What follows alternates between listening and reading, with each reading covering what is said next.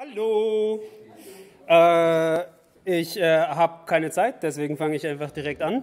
Äh, ich bin der Miro, ich mache heute die Stunde mit äh, dem Titel.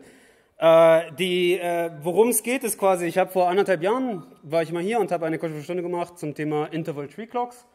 das war damals so ein Paper, was ich gelesen habe, was ich ganz cool fand und fand, das sollten mehr Leute wissen. Und quasi dieser Vortrag ist jetzt die logische der, der, der, die logische Fortsetzung von dem Vortrag von damals, äh, nämlich warum. Ähm, um, damit ihr nicht, falls ihr das damals verpasst habt, trotzdem ungefähr wisst, worum es geht, äh, kurzer Recap. Ähm, das erste, was wir irgendwie wissen müssen, was es ist, ist das, was sich die kausale Ordnung nennt. Das heißt, angenommen, wir haben so ein verteiltes System ähm, mit irgendwie mehreren Servern zum Beispiel, die ich hier mal A, B, C genannt habe dann passieren auf diesen Servern, also das, das Grundproblem ist, Uhren sind nicht synchron. Und deswegen wollen wir etwas haben, was nicht die Uhrzeit ist, weil jeder Server hat eine anders schnell laufende Uhr, äh, um irgendwie zu wissen, was wann passiert. Das heißt, wir haben irgendwie drei Server, A, B und C, und dann können da jeweils so Dinge passieren. Äh, jeder Punkt ist so ein, so ein Event auf diesem Server. Und das erste, was wir sagen für die kausale Ordnung, ist quasi, wir wollen Events vergleichen. Wann passiert Event A nach Event B? Und das Erste, was wir quasi sagen, ist, wenn es auf dem gleichen Server direkt hintereinander passiert, dann passieren sie hintereinander. Logisch, gell? Okay, so, jetzt wäre das kein verteiltes System, wenn das einfach nur Server wären, die wollen auch miteinander reden, die können jetzt irgendwie so Nachrichten schreiben. Äh, und die zweite Sache, die wir also sagen, ist, dass wenn ein Event A nach äh, äh, äh quasi das Event B sendet eine Nachricht, passiert vor dem Event A empfängt die entsprechende Nachricht. Äh, und das erweitert unsere Ordnung. Das heißt, jetzt können wir nicht nur Events vergleichen, die auf dem gleichen Server passieren, sondern auch Events, die auf unterschiedlichen Servern passieren. Also zum Beispiel dieses Event passiert nach diesem Event und dieses Event passiert nach diesem Event. Das heißt, dieses Event passiert auch nach dem oder dieses Event da hinten passiert auch nach dem Event, weil, naja, das passiert nach dem und das passiert nach dem und das passiert nach dem und das passiert nach dem und so weiter. Okay, verstanden? So, das heißt kausale Ordnung, weil das quasi beschreibt, wenn, wenn Event A nach Event B passiert, bedeutet das quasi, Event A kann beobachten den Effekt, den Event B hatte. So, äh, und jetzt wollen wir irgendwie die auch irgendwie ordnen können und damit arbeiten können und dafür brauchen wir irgendwie das konkreter, als irgendwie über Events und sowas zu reden.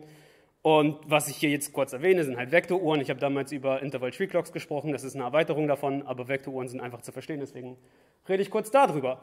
Äh, und was wir also machen ist, wir fügen jedem dieser, geben jedem dieser Server eine ID, die jeweils ein Einheitsvektor ist, also 100, 010, 001. Ne?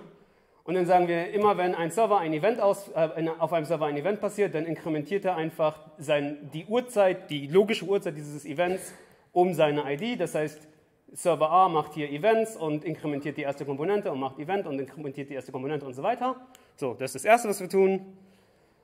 Das Zweite, was wir tun, ist, immer wenn, ein, wenn wir eine Nachricht verschicken, schicken wir unsere eigene Uhrzeit mit. Das heißt, B sendet hier eine Nachricht an A und schickt halt mit, oh, die aktuelle Uhrzeit ist 010. Und dann schickt A hier eine, eine an B und sagt, oh, die aktuelle Uhrzeit ist 4, 400. Und A schickt was zurück und sagt, ah, meine Uhrzeit ist aber 030. Ähm, und dann, äh, wenn wir eine Nachricht empfangen, äh, nehmen wir komponentenweise das Maximum. Das heißt, äh, unsere Uhrzeit war vorher 200 und wir kriegen jetzt 010 rein. Naja, das Maximum aus 2 und 0 ist, 1, ist 2, das Maximum aus 0 und 1 ist 1, das Maximum aus 0 und 0 ist 0, deswegen wird das 210. Äh, und dann gehen wir von da aus immer weiter mit unseren, wir addieren 1 drauf. Ne? Äh, das gleiche passiert hier und hier und hier. Ist das verständlich? Es ist ein bisschen fix, aber ich hoffe, dass das anschaulich genug ist, um irgendwie zu verstehen, wie das funktioniert. Und jetzt haben wir so zu jedem Event, kriegen wir damit so einen, so einen Timestamp, so einen kurzen Vektor und der sagt, dann ist das passiert. Und jetzt können wir sagen, ah, zum Beispiel, äh, wenn wir dieses Event und dieses Event vergleichen wollen, nehmen wir einfach die beiden Vektoren her und gehen halt komponentenweise durch und sagen, okay, 1 ist kleiner als 3, okay, 0 ist kleiner als 1, 0 ist kleiner als 0. Okay, dann ist offensichtlich das rote Event vor dem blauen passiert, großartig. Äh, oder wenn die Events nicht auf dem gleichen Knoten passiert sind, zum Beispiel hier, sagen wir, okay, 0 ist kleiner als 4, okay, 0 ist kleiner als 3, okay, 2 ist kleiner gleich als 2 zumindest, okay, also ist das rote Event wieder vor dem blauen passiert, obwohl sie eben auf unseren anderen unterschiedlichen Servern passiert sind. Ne? Und da kommt eben genau diese, dieses Maximum mit rein, ne? dadurch, dass wir hier die aktuelle Uhrzeit mitgeschickt haben und dadurch, dass wir dann ein Inkrementieren jede, beide dieser, äh, dieser Operationen schieben immer nur jede Komponente nach hoch. Die schieben sie nie wieder zurück. Und deswegen gibt uns halt diese partielle Ordnung auf diesen Vektoren genau die kausale Ordnung, wie wir sie wollen. Und jetzt kann es aber natürlich auch passieren, dass wir ein Event haben wie dieses Event und dieses Event. Da ist jetzt zwar, da ist 3 größer als 0, aber 1 ist kleiner als 2. Und das heißt, es ist weder das eine größer als das andere, noch das andere größer als das eine. Und deswegen sagen wir, die sind nicht vergleichbar oder die sind concurrent oder gleichzeitig und das schreiben wir mit diesen Doppelpipes. Äh, und das sehen wir hier ja auch. Also dieses, dieses rote Event hat keine Möglichkeit, das blaue zu äh, beobachten, weil eben jede, die Kommunikation passierte halt bevor die jeweils passiert sind und seitdem ist noch keine neue Kommunikation passiert und dadurch können wir jetzt sagen, ah, okay, diese beiden Events waren wohl gleichzeitig, da hat, sind wohl zwei Sachen gleichzeitig passiert. Okay, cool, soweit zu Vektoruhren. Fragen? Großartig, ich, ich gehe da einfach fix durch. Ähm, so, und nun, warum, wa, warum das Ganze? Äh, naja, wir, wir sind jetzt in der Lage, Events irgendwie kausal zu ordnen. Äh, ITCs, wie gesagt, sind eine Erweiterung davon, die es dann noch irgendwie erlauben, Knoten zuzufügen und wieder zu entfernen, so dynamisch, so im laufenden Betrieb. Ähm, äh, aber, aber warum eigentlich das Ganze? So, und äh, meine Antwort ist, ich will damit eine Datenbank bauen. Und wir fangen mal klein an mit unserer Datenbank und sagen, wir nehmen einfach mal ein verteiltes Register. Das ist einfach eine so eine Speicherzelle, da können wir irgendwie Dinge reinschreiben. Äh, und jetzt haben wir hier wieder unsere drei Knoten und jetzt äh, sagt er zum Beispiel, und was wir jetzt quasi machen ist, äh, jeder Knoten führt einen Log und in dieses Log schreibt er alle Operationen rein, von denen er jemals, jemals gehört hat, einfach. Ne, das heißt, irgendwie A, A, will jetzt irgendwie x auf 23 setzen und dann schreibt er rein A. An Uhrzeit 200, er inkrementiert seine eigene Uhr natürlich, um seine eigene ID. Äh, oh, äh, an Uhrzeit 200 habe ich 23 geschrieben. Und dann schreibt B irgendwie 42 und sagt, ah, an Uhrzeit 020 habe ich äh, 42 geschrieben. Äh, und dann sagt A, ah, ich habe da außerdem so eine 13 geschrieben, an 300. Ne? Also das heißt, jedes Mal, wenn ich irgendwie was schreiben will, lege ich einfach in dieses Log ab, was ich geschrieben habe und was meine logischer, Zeitpunkt, äh, mein logischer Zeitstimme zu dem Zeitpunkt war. Äh, und jetzt kommt irgendwie C und Cs Uhr geht falsch, deswegen macht er das irgendwie ein bisschen früher äh, und schreibt irgendwie, ah, ich habe um 002 habe ich eine 1 geschrieben. So, ähm, so, jetzt kann irgendwie jeder Server da irgendwie seinen Scheiß in sein Register schreiben, aber das ist ja noch kein verteiltes Register, das ist ja noch nicht irgendwie, was wir wollen. Wir wollen ja auch, dass die miteinander reden. Äh, und deswegen führen wir jetzt dieses, diese Sync-Nachricht ein. Das heißt, B kann jetzt irgendwie sagen, hey A, ich bring dich mal up to date und schickt ihm einfach mal so blast sein gesamtes Log rüber. So, alles, was er weiß, alle seine Events. Und dann sagt A, okay, das sind folgende Events, die kenne ich noch nicht, die schreibe ich jetzt einfach auch in, in mein eigenes Log rein. Und jetzt weiß A, jetzt kennt A alle Events von A und alle Events von B, okay, die bis dahin passiert sind. Ne? So, und jetzt ist der Punkt, äh, bis hierhin war irgendwie so, naja, A, wenn, wenn A irgendwie wissen wollte, was ist eigentlich der Wert von x gerade, dann schaut A in sein, in sein Log und schaut irgendwie nach, ah, okay, 23, ah, okay, aber dieses 13er-Event ist später passiert, ne, weil 300 ist größer als 200. Deswegen ist x wohl offensichtlich 13. Jetzt ist aber, nachdem B hier das, seine Events rübergesenkt hat, hat A jetzt auf einmal das Event 3, äh, bei 300 und den Wert bei 020. Und da ist weder das eine größer als das andere, noch das andere größer als das eine. Äh, ergo sind die gleichzeitig passiert. Ergo haben da wohl zwei Server gleichzeitig auf diesen Wert geschrieben. So. Und das heißt, jetzt müsste man irgendwie Conflict Resolution oder so machen, eigentlich, so, um irgendwie zu versuchen, diesen Konflikt aufzulösen. Äh, aber für unsere Zwecke ist es jetzt einfacher zu sagen, naja, wenn irgendwie A wissen will, welcher Wert da drin steht, dann kann da nicht nur ein Wert drin stehen, sondern dann können da beliebig viele Werte drin stehen. Und A gibt einfach alle konfliktierenden Writes zurück. Das heißt, A würde in diesem Augenblick sagen, naja, 23 wurde obsoletiert von 13, okay, aber 13 wurde nicht obsoletiert von 42 und vice versa, deswegen gibt er 13 und 42 zurück. So. Und dann können wir danach auf dieses Konzept immer noch unsere Resolution raufmachen, weil dann haben wir ja beide Werte. Ne? Aber for now, quasi aus der theoretischen Perspektive, ist es halt irgendwie einfacher, das so zu behandeln erstmal. Klar? Okay, cool. Und dann irgendwie sagt, äh, sagt äh, kann A irgendwie wieder was schreiben und schreibt irgendwie P da rein. Und ihr seht ihr hier, ähm, also, ah, by the way, ich habe hier oben jeweils rangeschrieben, was die, die aktuelle Uhrzeit des Knotens ist. Äh, also jeweils komponentenweise das Maximum aller Uhren. Ne? Und wenn, wenn A jetzt wieder einen Wert reinschreibt, ne, zum Beispiel dieses Pi, dann ist jetzt 420 größer als 020 und größer als 300. Das heißt, Pi ist jetzt auf einmal der neue Wert für A und der obsoletiert einfach alle vorher, weil jetzt hat A ja die Werte vorher gesehen. Ne? Aber zum Beispiel hat, A noch nicht dieses x gleich 1 gesehen, aber das ist okay für A, weil was, was er nicht weiß, macht ihn nicht heiß. So. Äh, und dann kann jetzt irgendwie A auch irgendwie nach C sinken und schickt irgendwie seinen ganzen Kram darüber. Und äh, warum habe ich das hier rangebracht? Ich weiß nicht. Äh, genau. Ähm, einfach als weiteres Beispiel. Äh, A schickt also all seine Events auch einfach mal an C. Ähm, währenddessen schreibt B vielleicht gerade nochmal wieder. Ne? Das kann alles irgendwie gleichzeitig wild rum und rum passieren. Aber diese Vector Clocks geben uns halt die, diese Eigenschaft. Wir können zu jedem Write immer sagen, ob der, der, ob der irgendwie parallel war, äh, äh, äh, concurrent war oder nicht. Ähm, und ihr könnt euch jetzt vielleicht vorstellen, dass wenn jetzt alle irgendwie, wenn, wenn ich jetzt mal eine Weile lang nichts mehr schreibe, ne, nirgendwo, und alle irgendwie so munter rumsinken, dass es dann irgendwann konvergiert zu, zu diesem Zustand, wo alle, alle haben die gleichen Updates in ihrem Log. Nicht unbedingt in der gleichen Reihenfolge, weil je nachdem, in welcher Reihenfolge man halt so gesynkt hat, so, ne, landen halt vielleicht mal das eine Update früher oder das andere Update früher. Äh, aber zumindest haben jetzt alle irgendwie den gleichen Wert, äh, das gleiche Log und würden also auf jede Anfrage, irgendwie was ist der aktuelle Wert, immer auch mal die gleiche Antwort geben. So. Und das, dieses Konzept nennt sich kausale Konsistenz. Ähm, das ist so, so eins von diesen Konsistenzkriterien. Äh, das ist aus Gründen schön. Ähm, und äh, ja, ja, okay, ich meine, Fragen soweit. Wir wissen jetzt quasi, wie wir einen Wert nehmen und den irgendwie verteilen können auf eine Art und Weise. Was kausale Konsistenz de facto sagt, ist, äh, wenn, ein, wenn Event A vor Event B passiert ist, dann wird, werden auch alle Knoten immer Event A vor Event B wahrnehmen. So, äh, wenn die beiden nicht kausal relatiert sind, dann weiß man nicht, was passiert, aber zumindest wenn sie das sind, dann, dann können wir das wahrnehmen. Und diese gesamte Maschinerie ist eigentlich nur dafür da, um, um genau diese Garantie zu machen. Ne?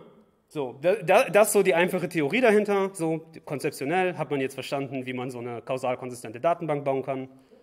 Ähm, so ein paar Sachen sind da noch unschön.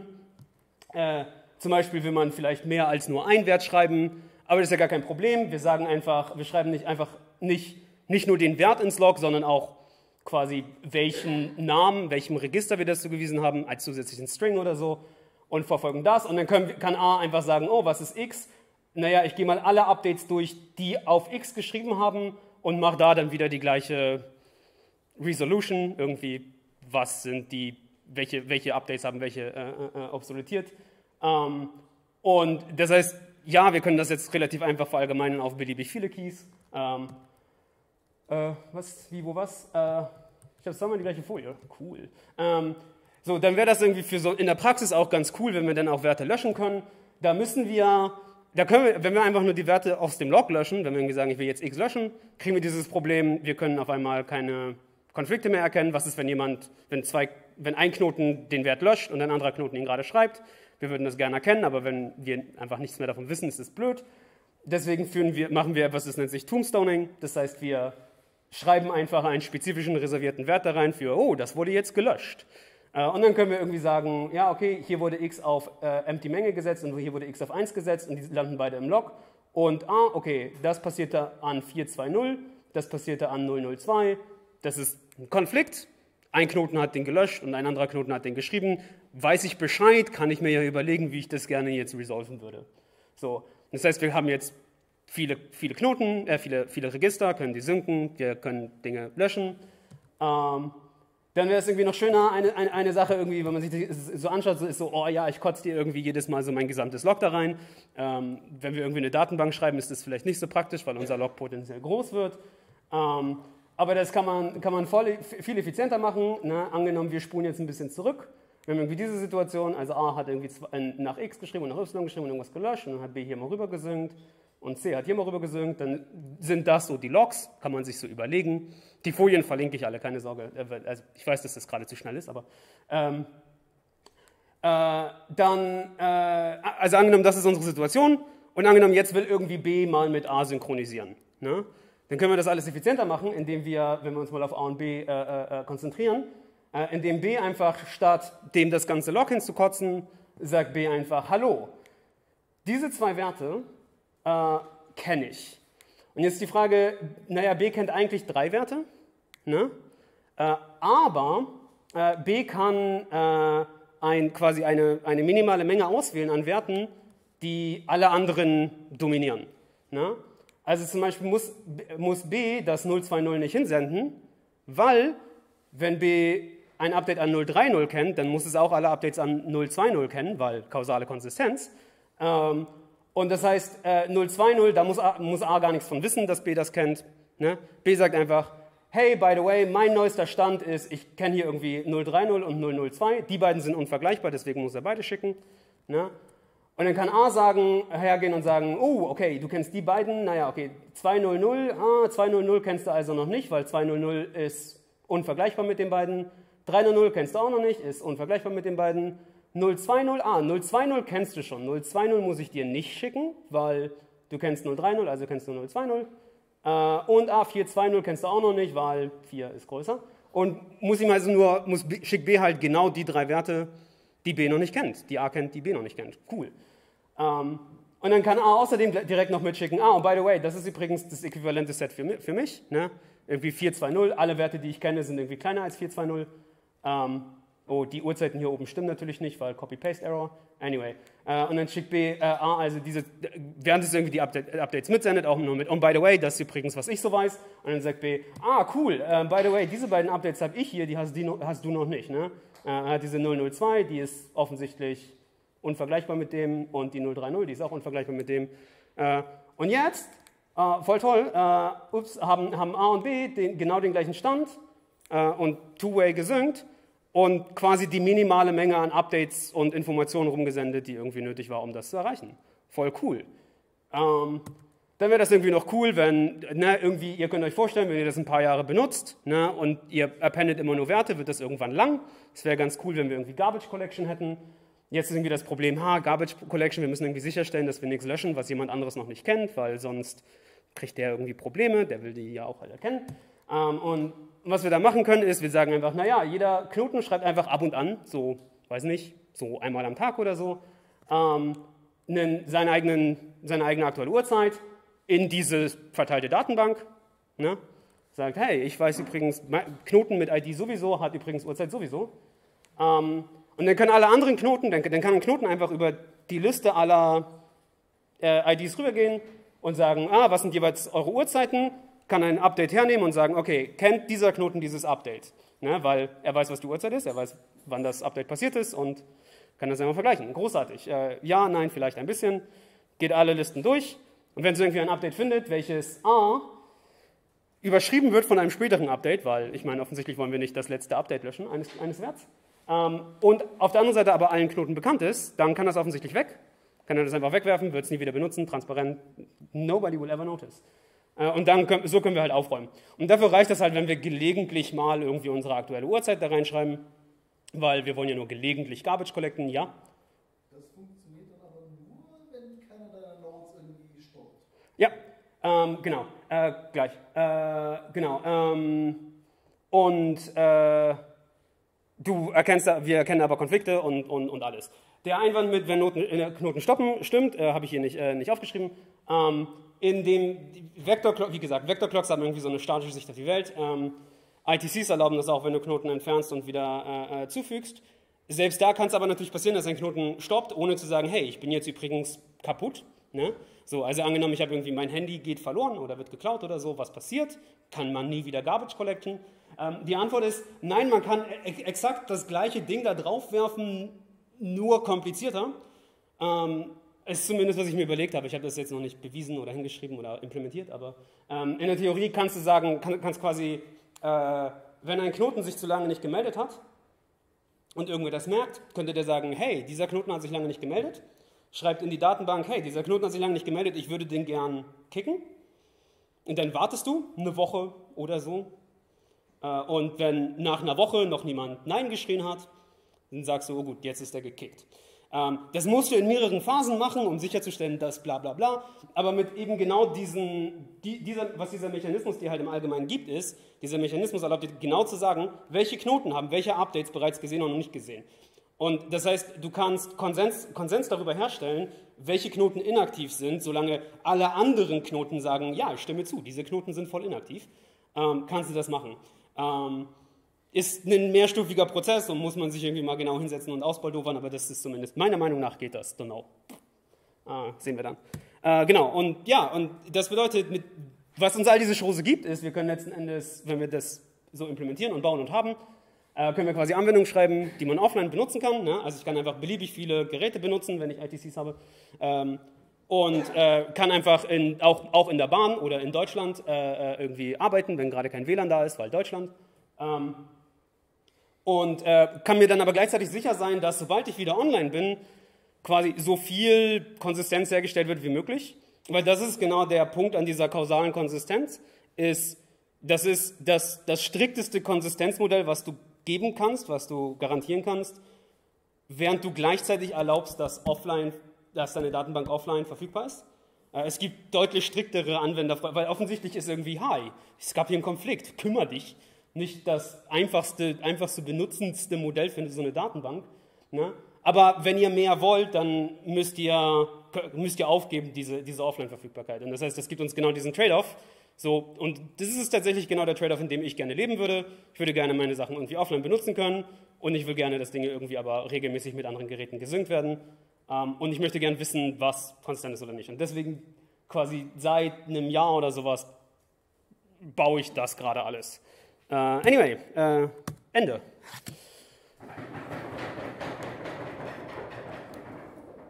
Nicht, nicht ganz, ja. Die, die Variante, was du überlegt hast, mit wir kicken einen Node raus, ist im Wesentlichen eigentlich ein klassischer Timeout. Äh, ja, und du musst, also du musst natürlich, du musst überlegen, was, was ist ein, ein guter Timeout? Ähm, aber es ist schon noch zwei, drei Stufen komplizierter als ein klassischer Timeout. Aber ja, weil ich meine, irgendwie musst du. Ne? Äh, du kannst natürlich auch sagen, also du kannst natürlich diesen Prozess auch manuell anstupsen. Ne? Du kannst natürlich auch manuell sagen, hey, ich weiß, dass dieses Gerät nicht mehr existiert. Äh, du willst trotzdem diese Garantie haben. Ähm, und wie ich das gemacht habe, ist, um zu verhindern, ich meine, also was du halt, das Problem, das du natürlich bekommst, ist dann, äh, dass es passieren kann, dass du sagst, wir, wir kicken diesen Knoten jetzt und sich dann der, neue, der, der, der Knoten auf einmal wieder meldet. Ne? Ähm, und um, um quasi das zu verhindern, ist das gesamte Management des Netzwerks passiert über exakt das, die, die, den gleichen, die, die gleiche Storage. Ähm, das bedeutet, sobald du einen Knoten gekickt hast, äh, kann der sich nicht mehr verbinden. Dann, dann kriegt er einfach einen Nope und dann musst du den halt neu einrichten und neu sinken. Das heißt, ähm, ja, exakt. Und deswegen diese, und, und das ist genau, weswegen das irgendwie schwieriger ist als einfach so ein Timeout, weil einfach so ein Timeout, again, wir haben keine Uhren. Ne? Wir wissen nicht, wie spät es ist. So.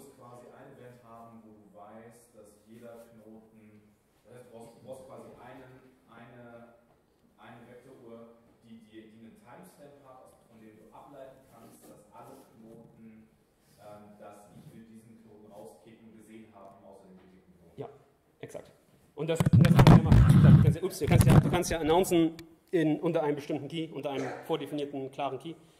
Ich möchte diesen Knoten jetzt kicken und dann kannst du ja einen Tag später gucken, ob dieses wer dieses Update alles gesehen hat.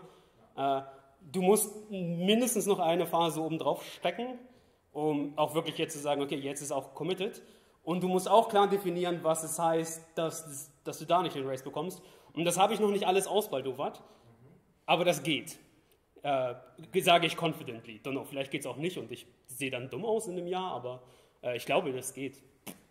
Ähm, ja, ich meine, bis, bis, bis dahin geht das. Bis dahin weiß ich, dass es geht, aber wobei ich, Fun Fact, ich habe äh, heute beim Machen der Folien einen Bug gefunden in meiner Implementation, aber whatever. Ähm, ja, äh, anyway.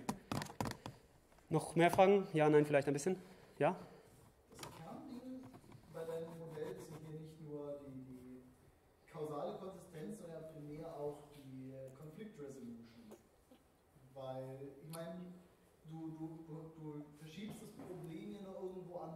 Ja.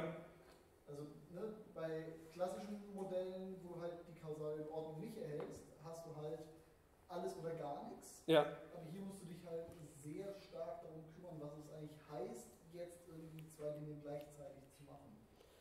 Ähm, du Ansätze? Also. Das sinnvoll behandeln könnte? Okay. Ähm, äh, jetzt, es, es, gibt schon noch, noch zwei Stufen dazwischen. Also äh, ich, ich bin zwischen zwei verschiedenen Konzepten. Ähm, die, meine persönliche Meinung ist, kümmere ich mich nicht drum. Vielmehr, ich kümmere mich drum, wenn ich die Anwendung schreibe. Ich schreibe auch eine Anwendung darauf, also ich schreibe gerade ein, ein Fuse-Dateisystem auf der Basis.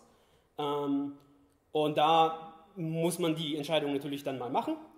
Ähm, aber meine, meine Meinung ist erstmal so, don't know. Ich, ich glaube nicht, dass eine Datenbank oder also dass der Storage Layer da eine Antwort geben kann. Punkt. Geht nicht.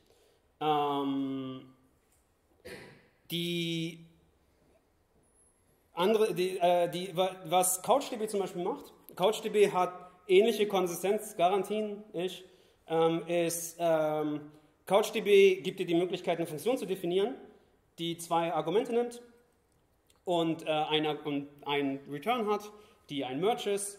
Und dann, wenn CouchDB sieht, oh, da ist ein Konflikt aufgetreten, dann ruft es deine Funktion mit den beiden Sachen auf und schreibt dann das Resultat in die Datenbank stattdessen.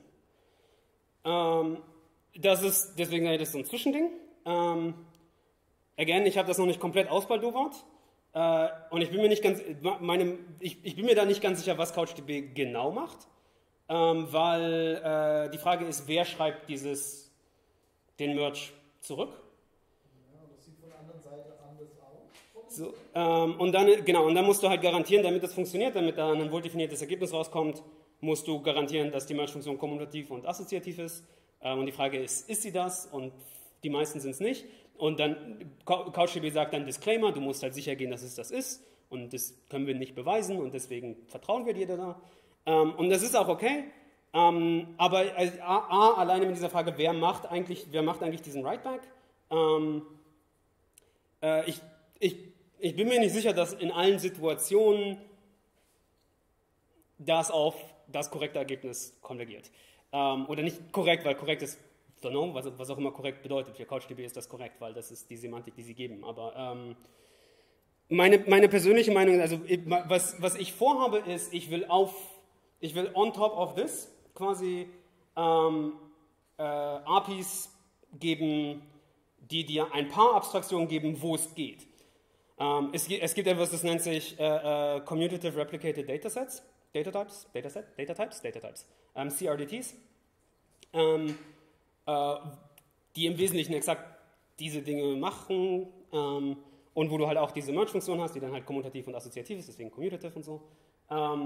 Und da ist zum Beispiel so ein, ein Set, in das du nur Dinge zufügen kannst, äh, gehört dazu. So, das hat eine wohl definierte Merge-Funktion, kannst du implementieren, kannst du bauen. Ne? So, ähm, oder ein, ein Counter, der nur hochzählen kann, kann man bauen. So. Ähm, und das heißt, mein persönlicher Plan ist, diese API als die Grund-API zu geben und dann aber halt auf der Basis weitere Dinge zu geben, sodass du sagen kannst, ich möchte, dass das hier die Semantik eines Add-Only-Sets hat, eines Append-Only-Sets hat oder so äh, was das dann umsetzt. Ähm, aber ich, ich persönlich glaube an die Semantik zu sagen, äh, du handelst es erstmal a priori auf, der Storage Layer hat keine Ahnung, weil äh, ich, es, es, gibt echt nicht so furchtbar viele Merge-Funktionen, die irgendwie kommutativ und assoziativ sind. Ähm, das ist äh, der, die andere Sache ist irgendwie ein, ein anderes System, was ihr irgendwie alle kennt, was auch ungefähr so funktioniert, ist Git. Ähm, äh, Git ist aus bestimmten Sichten auch irgendwie sowas wie eine verteilte Datenbank und die ist aus bestimmten Sichten auch so sowas wie kausal konsistent ähm, und die ist ein bisschen anders implementiert und ähm, again, different trade-offs und so. Ähm, und wie Git das macht, ist, naja, wenn ein Konflikt auftritt, dann sagt Git Gnose und du musst es halt manuell merchen. So, ähm, das, das, ist eine andere Art und Weise, das zu lösen, ist, wenn, sobald du einen Konflikt da, darstellst, hörst du auf zu, zu serven und sagst, da muss ein Nutzer kommen und das irgendwie fixen. So, ähm, Da, da, aber die Anwendung muss das fixen, ist ja das CouchDB-Level. Ne? Ähm, und ja, ich meine, same, same diff. Äh, äh, äh, ja, same diff. Aber ähm, ich will halt, also der Punkt ist, ich will halt nicht, ich will halt nicht interaktive Anwendung haben. Ähm, ich will halt spezifisch nicht die ganze Zeit mergen müssen. müssen. Ähm, aber wenn ihr schon mal einen Git-Merge gemacht habt, dann wisst ihr auch, dass es keine allgemeine Merge-Funktion gibt, die immer funktionierendes korrekte Ergebnis liefert. Ähm, so, ja, ja, ich, ja nicht, nicht manuell zumindest. Ähm, und äh, äh, ich, deswegen stelle ich mich da auf den Standpunkt, also A, es, werden, es bleiben, die Updates bleiben auch drin. Man kann auch, man kann tatsächlich auch, und da, auch da habe ich mir, man kann sich clevere Tricks überlegen, um zu garantieren, dass du kannst den Writeback an sich machen, den CouchDB machen, macht, und garantiert, da, garantieren, dass genau ein Knoten diesen Writeback macht. Ähm, ist aber ein bisschen, also ist, ist wieder knifflig und so. Ähm, und ich, ich, persönlich stelle mich da auf den Standpunkt, nee, ich lasse lass einfach beide Werte drin und wenn du den liest, sage ich dir hier, Konflikt, mach. Ähm, ich meine, in dem Dateisystem, was ich mache, mache ich, wenn, äh, du, wenn, wenn, wenn, wenn was conflicted irgendwie in einem Verzeichnis ist, dann wird gemerged, ne? irgendwie so. Wenn was conflicted irgendwie in eine Datei ist, dann geht nicht zu mergen, dann schaue ich halt doch mal auf die M-Time, auf die Uhr und tue so, als sei die vertrauenswürdig. Dann ist manchmal das Ergebnis falsch, aber dann mache ich irgendwie so einen Lost and Found Directory oder so, don't know, mal schauen. Ähm, und irgendwie, wenn sich Attribute ändern, dann nimmt man irgendwie das Maximum, aber es ist so nach dem Motto. Ähm, aber ja, äh, don't know, muss, muss sich die Anwendung drum kümmern aus meiner Sicht, aber ja.